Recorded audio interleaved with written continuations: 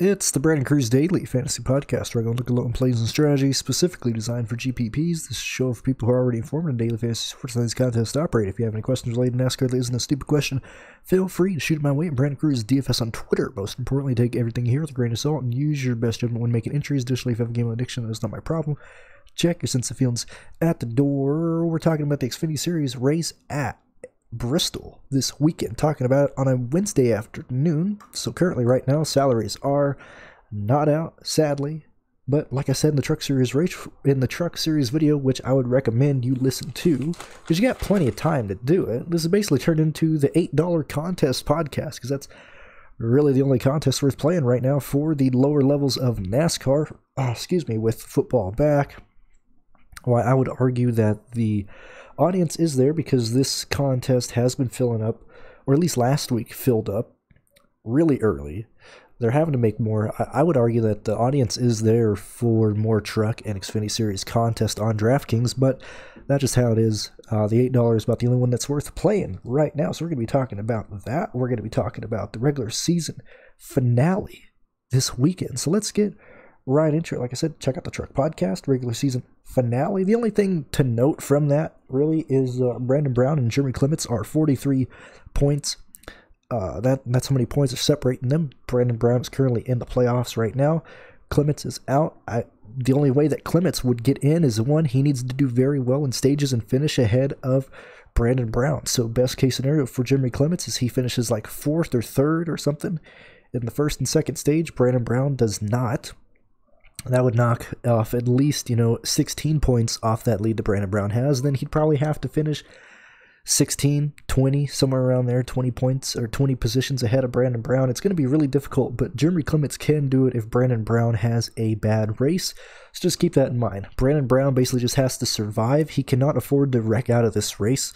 So I don't see Brandon Brown really pushing it a whole lot. He's just going to try and survive. If he gets into a wreck, he's going to try and get that car repaired and just run laps. Jeffrey Earnhardt, not Jeffrey Earnhardt, Jeremy Clements has to make stuff happen.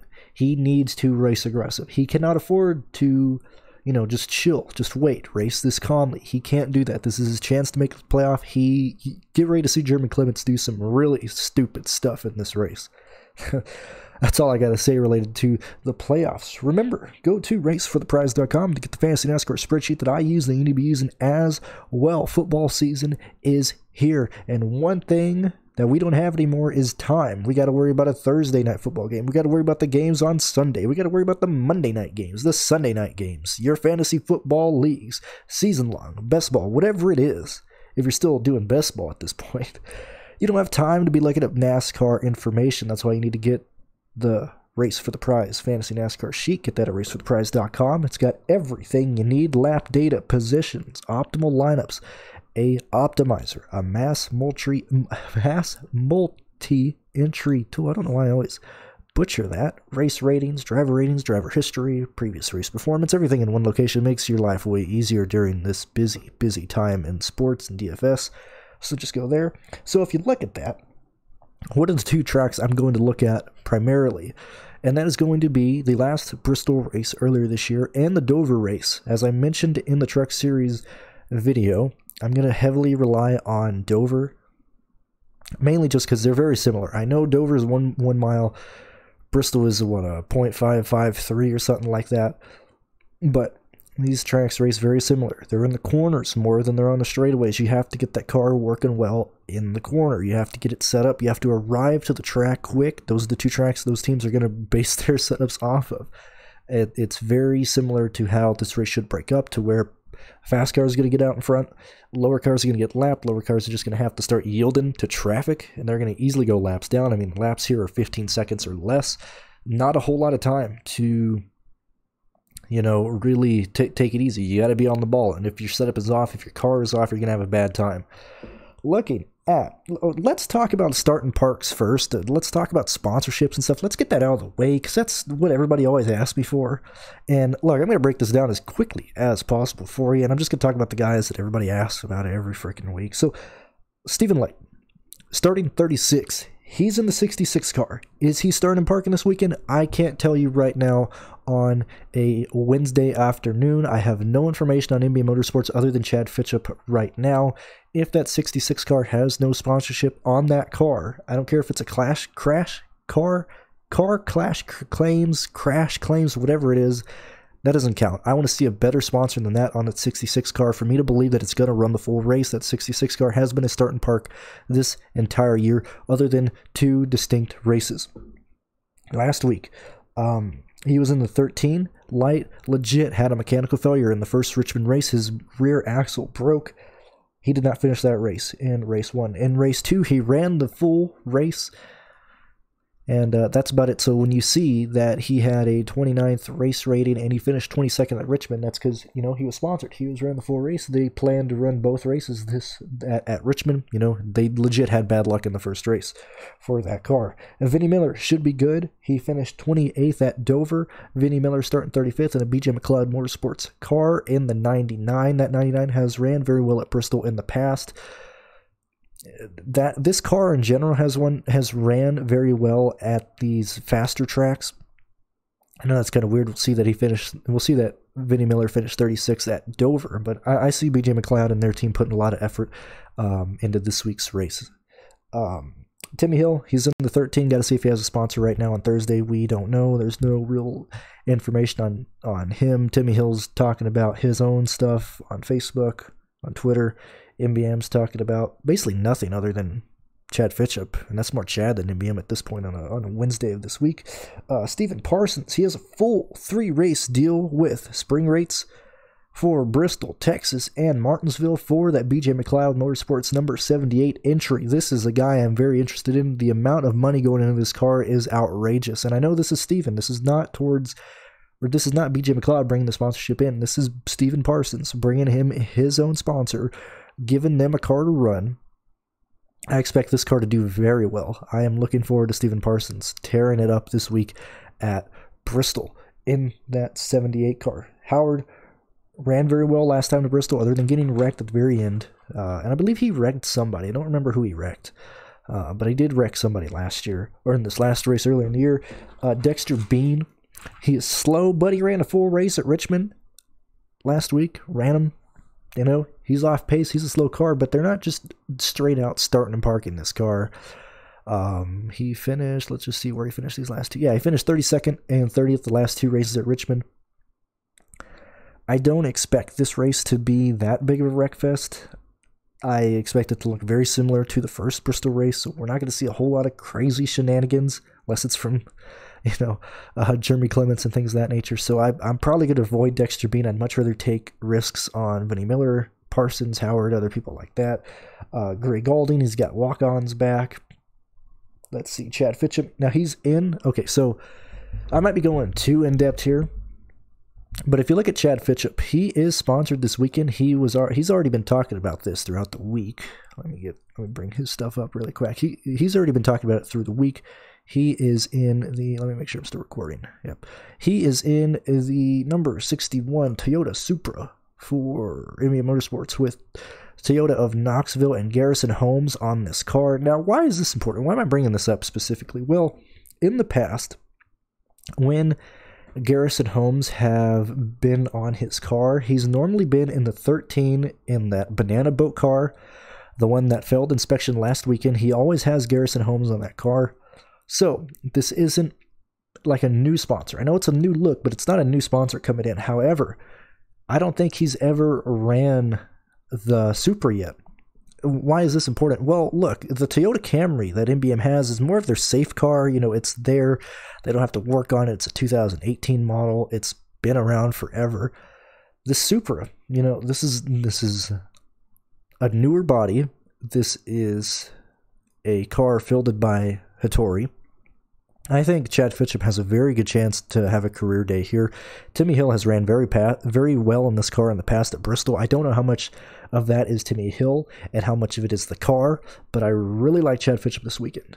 And I know I might be looking I might be looking too much into this, so you know, might be might just be me being weird, but I think that's a situation that uh, that Chad Fitchup is in this weekend. And that's about it in terms of starting parks. I mean, look, Kyle Weatherman, the whole Mike Harmon scenario. I mean that we'll learn day of if they got you know a real a real horse in this race or not. Uh, outside of that, let's look at how I want to approach this race, how I'm looking to approach it. If we look at, and I'm not going to say the optimal lineup because I want you guys to purchase the spreadsheet, or I'm some, I'm, I'm sure some idiot will post on Twitter and just ruin it for everybody. But if you look at the previous race here, earlier this year. And if you look at previous races, we typically have two dominators in the optimal lineup, sometimes three, depending on how it is, but it's normally two dominators and four place differential. And even the punts aren't that wild. It's very similar to the trucks that I think you do need one punt in your lineup, two dominators, and everybody else just focus on val- uh, excuse me, focus on value. The the difficulty comes from trying to figure out where the ownership is and that's what I'm going to talk about here more than anything. Because, look, we already know who's going to be fast. Just look at how they've driven this year. Look at Bristol. Look at Dover. Who who should be quick? I mean, Chase Briscoe, even though he didn't do much of anything, he should he should have a fast car. I don't know if he'll lead. Justin Allgaier or Chastain have had fast cars. Gragson and Cindric are probably class of the field right now. Justin Haley is probably the last car that I'd look at to be fast. Um, and then everything else is going to be based off of where ownership goes. I mean, I, I imagine a lot of people are going to be on Anthony Alfredo and Riley Herbst.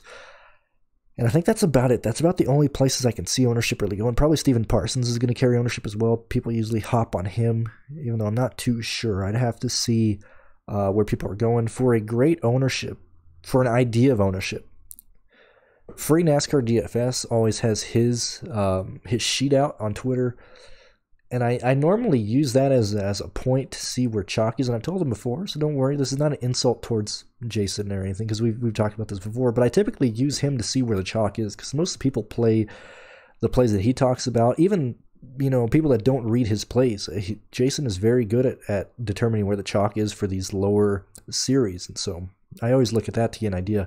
So I, I normally you know have a list down of who I'm interested in, compare it to Jason's list to see if he's talking about certain people. And if he's talking about certain people, I, I typically try to remove them because I'm like, oh, there's going to be ownership on these guys. I, I don't want to use them. So let's let's talk about the guys I like, and then let's talk about the guys that I think we're going to see ownership on. Starting from the, from let's start from top of the grid forward. I like, and I'm going to say a lot of likes here because look, it it all depends on ownership. Uh, excuse me, it all depends on salary. It all depends on lineup construction. But Bristol is a track that I can have a bigger player pool than normal because, you know, certain guys will have a better chance here because it's a track that kind of evens the field out if you're at least in a mid tier, top tier car. And it's very forgiving on people who are getting place differential just because people are going to get lapped, people are going to get trapped laps down, and it's very easy to get a lot of place differential if you remain on lead lap while everybody else is why everybody else is getting lapped. So I like Allgaier, like Chastain, like Gragson, like Haley, like uh, Cindric, like Jones, like Annett, I like Briscoe. I like Moffitt. I like Anthony Alfredo, Riley Herbst, Joe Graf Jr., Weatherman to an extent, Tommy Joe Martins, Chad Fitchup, Gray Gaulding, Snider, Howard Parsons, Vanderwal. Don't call me crazy. I actually do like Vanderwal this weekend. Uh, Timmy Hill, Vinnie Miller, and Leicht if he is sponsored. Now let's talk about let's talk about where I think ownership is going to go. I think a lot of the ownership in the value area, in the punt area, is going to be centered around Vinnie Miller, Timmy Hill, Parsons, Howard, Chad Fitchum, and Tommy Joe Martins, and probably Jesse Little and Weatherman to an extent. I can't. It's hard for me to pinpoint who's going to have the most ownership of these guys, but I think these are going to be the common plays for value, for punts, things of that nature. That's why I actually like Kody Vanderwal in the situation starting 33rd. Cody taking behind the wall, finished 21st here earlier in the year. He's had an abysmal. These these last four races have been atrocious. Actually, this whole year. Good lord, the guy hasn't finished outside the top 30 since Pocono. So I might be getting on this idea at a, at a bad time, but I don't see the reason that people would look at Kody Vanderwal here. That's why I'm interested in Vanderwal for lower ownership, just because I don't imagine anybody's going to use him. And look, if if he ran, I mean, he ran 21st in Bristol earlier this year. I understand we had some wrecks. I know that, but he should arrive with at least some knowledge of this track. He shouldn't be that horrible. Um, so yeah, I mean, Vanderwal will certainly be lower owned. Um, I would primarily want to focus on Parsons and Timmy Hill and Chad Fitchum, but that's just me. Gray Gaulding, everybody's. I, Gray Gaulding's another guy. I I can't understand where the ownership comes on him, lays on him each and every week at Daytona. He was highly owned, but maybe that's because people liked his his car. At Dega, he was highly owned. Um, why does it say? No, that wasn't Gray Gaulding. I'm thinking of who who oh who was it that wrecked? I just went blank. Anyway, Gray Gaulding has performed very well at the plate tracks this year. Was that Joe? I think that was Joe Graf Jr. Yeah, Joe Graf Jr. was the guy who had the uh, purple car at Daytona. Anyway, um, Gray Gaulding usually has walk-ons on the car. Finished second at Daytona, eighth at Dega. Why is this important? Well, because we have a lot of people coming into play NFL here at um, here on DraftKings. People join there and they're like, oh, you know, I can I can play Xfinity too. So they're gonna click and see Gray Gaulding, and he's I don't know what his his points are gonna be, but they're gonna see like an average points of like 48 or 52 or whatever next to his name. And I don't know if if DraftKings will price him accordingly to that. But that normally draws a lot of the casuals to click on him because they're like, "Oh, Gray Gaulding, what? He this dude does great, man. He's he's one of the best average DK point plays this year." Little do they know he's only ran the plate tracks, so it's it's always difficult to figure out where he comes in on ownership. Howard, um, I could have swore Howard wrecked. Was that at Charlotte? Maybe been at Charlotte. Maybe I was wrong when I talked about Howard wrecking because he finished 19th earlier this year. I know he wrecked somebody. I wasn't sure if he finished the race or not. Uh, no, that was um, I'm thinking of where was the first? It was Kentucky or Texas, one of those. He wrecked at one of those. I don't remember. Let me look. He finished 37. I'm going on a tangent. I don't need this. um, Howard should carry ownership as well. He's been a popular punt play on the smaller tracks this year. Uh, and I mean popular is in like, you know, 23% ownership, 27% ownership. So we're trying to find something smaller, especially if we're trying to take down that $8 GPP. Uh, I don't know how much I'm going to push people to Chad Fitchup, Fincham. I always forget how to say his last name. It seems to me everybody says it's slightly different. I I like him a lot too. If if um, I, I like MBM Motorsports on these smaller fast tracks. That's just how I am, especially with him in the 61 car. I just I like how that's lined up. Jesse Little, a lot of people have been playing him. I understand he hasn't been optimal. I think it's three weeks since he's been optimal, but look, JD Motorsports knows what they're doing. They run very consistent line. They run very consistent races. Their cars are all set up to where they should at least you know finish the race. Him and BJ McLeod would probably be the two guys I'd look at. Him and Howard as well, but I don't mind that. Myatt Snider will carry a lot of ownership too. Uh, he keeps. It's really funny um, seeing people tilt at Myatt Snider. Last week, he he wrecked in the first Richmond race his backup car was the one he ran at Darlington, and I don't know why he was advertising that so much because I'm like, dude, Richmond and Darlington are two different planets. What the heck are you talking about? So, uh, Myatt Snider probably going to carry ownership, but he's people talk about him like he's Erik Jones. A lot of people hate playing Erik Jones in the Cup Series, but just you don't even have to look into it that much. You know when to play him, you know when to not to play him. Look what car he's running. Look what that team is talking about. Um, I knew he was a bad play last week. That's why I didn't play him. I like him this week. I just got to see what type of car he's running, what type of car they're in. If they're talking about it, you know, maybe he's he's he's burned people two weeks in a row. Maybe his ownership comes in low. It like early in the week without a whole lot of uh, articles out there and a whole lot of you know the four of us that still make Xfinity series content. It, it's hard to get an idea this early in the week of how people are going to look at that. I think that's about it in terms of uh, ownership. I don't see people using Kyle Weatherman. Probably starting too high up to really worry about it. Joe Graf Jr. I don't like. He's gonna wreck or do something stupid. Bayley Currey starting too high up to really make it work. Uh, Riley Herbst and Anthony Alfredo should carry ownership. They should be around the 8K range, maybe lower 9K. If they're above 10K, I mean that's stupid. Um, but they, both these guys should be at like 80, 88, 92, somewhere around there. Josh Williams I just don't like it. Matt Mills. Wait a minute here. Yeah, Matt Mills. Yeah, I just am not not a fan. Not a fan of Matt Mills in the five car starting too high up. Jeremy Clements, like I said, I, I imagine he's gonna do something stupid. That's the only way he can get into the playoffs. He has to race balls to the wall. No nothing given, man. You know, he he's gotta go for it. Uh, Brett Moffitt, he he's the one who got wrecked by Howard because uh, they were running well at Bristol. Let me see. No, they didn't run at Bristol. He didn't run at Bristol. The O2 car ran at Bristol. Somebody else was running the O2 car at Bristol. They had a very fast car and they were wrecked by Howard. I don't remember who it is. I don't remember who it was that was wrecked. But this is one of the races that Brett Moffitt did not run. But the O2 car should run very well. He's been lower owned recently. And I mean like 9 to 10%. Let's see what he was last weekend. On, let me pull up the contest and I'll, I'll look and see what Brett Moffitt was because I had Brett Moffitt. I've been playing. Moffitt is my um, is my Raphael Lessard in the Xfinity series because nobody plays Raphael Lessard. Uh, where is it? Xfinity. Let's check this out. What was his ownership last weekend? This is in the eight. Brett Moffitt came in at eight percent owned last. What? Let me see. Hold on.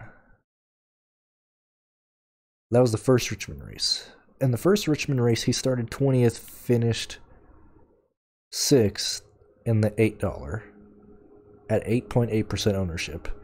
And then in the second Richmond race, let's see where you at. Happy Hour, Xfinity, Xfinity.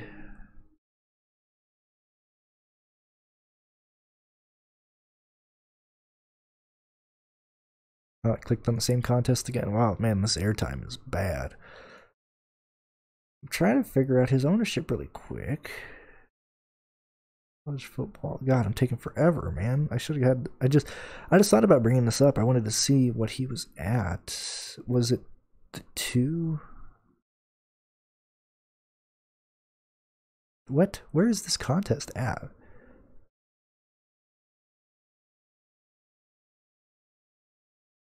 Oh, there you go. Hold on. He here we go. I forgot they ran the two races back to back. I got confused. Yeah, so he finished uh, the second race. He started 10th, finished 18th. He was at 19 uh, percent ownership. Why is this important?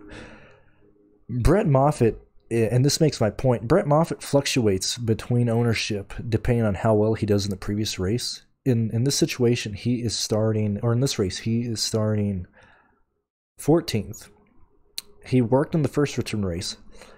He gained an ownership of about, you know, 9%, 10%. And then he he he busted in the second Richmond race, finished 19th. I guarantee you that ownership went away. It's it's going to go away. People do not like playing Brett Moffitt. Uh, they they they it's been this thing this whole year. He does well. He has a he, he busts. A race doesn't go well. He doesn't hit value, and people hop off. People are not really loyal to Brett Moffitt. And, he, and he, you're not loyal to anybody in NASCAR DFS or in DFS in general, but Brett Moffitt's ownership always fluctuates compared to his last race. And this is a situation where I think people do not play Brett Moffitt. I think he comes in around 14 to maybe 15% ownership depending on the salary and I like that a lot. I, I don't I don't hate that at all. Uh, Alex Labbe I don't like. Well, I just spent all that time talking about uh, Moffitt's ownership. Good lord. Uh, Alex Labbe, I don't like. Brandon Brown, I he look, he's gonna sandbag. He has no reason to run this race hard. I I'm terrified to play Brandon Brown. I don't want to be around it. Ryan Sieg, don't like. And then everybody in the top ten is, is viable. It just depends on how your lineup is going. So like I said before, the lineup should be two to three dominators with one punt play and play whoever you want after that in terms of who offers you the best value, who offers you the place point diff- point place differential and who you think you can get fast laps. I mean, that, that's what I'd build my lineups around. Thank you guys for listening. I have a Patreon in the description. If you guys felt like I helped you out at all this season in this video this week, feel free to donate to me through that. That's my donation link because I don't want to deal with having a PayPal link right now. Um, I am thinking of content to make for next year in terms of look, I like Sal Vetri a lot. I think he's one of the better content creators on YouTube, and him and I started around the same time. He started after me. Not that I'm competing with Sal Vetri, but I meant that he he his channel grew very quickly because he was on the ball. And I see that, and part of me gets really angry because I feel like I could be there. Not not with his like twenty five thousand subscribers. I don't mean like that, but I feel like he's a template of what I should be doing or what I should be close to or attempting. So I'm I'm interested in doing something like him. I'm not going to steal his stuff entirely, but I'm I'm trying to think of what I want to do next year. And I'm thinking about doing more stuff on screen. And I'm also thinking about doing like a pair or two guys that I like, you know, I know people have like, oh, they're core four, core three. You know, these are your values that you need to shove in your NFL content. Maybe I maybe I focus on two players that I would like. Call it a two stack, a pair. I don't know. I'm thinking about doing something like that next year. I might do it some. I might do it before this year is over. But um, but I got that. And then finally, um, the ninth annual I Got Balls 400 on iRacing in January. Signups will be out for that. Uh, coming up soon, $1,000 guaranteed money, free entry, absolutely no entry fee. All you got to do is race in. More information on that will be released as we get closer to the month of December and the month of January. But just keep that in mind. Early January, I think it's January 13th that the uh, ninth annual IGB is going to be held. Uh, the I've Got Balls 400. Uh, go go look at it on YouTube. It we uh, we changed it. It used to be 250 miles. Now it's going to be 400. But check it out. It's been a been an awesome race. I'm excited to start uh, announcing that more and more on this program. And uh, best of luck, guys. And uh, we'll talk later. Peace, peace, peace out.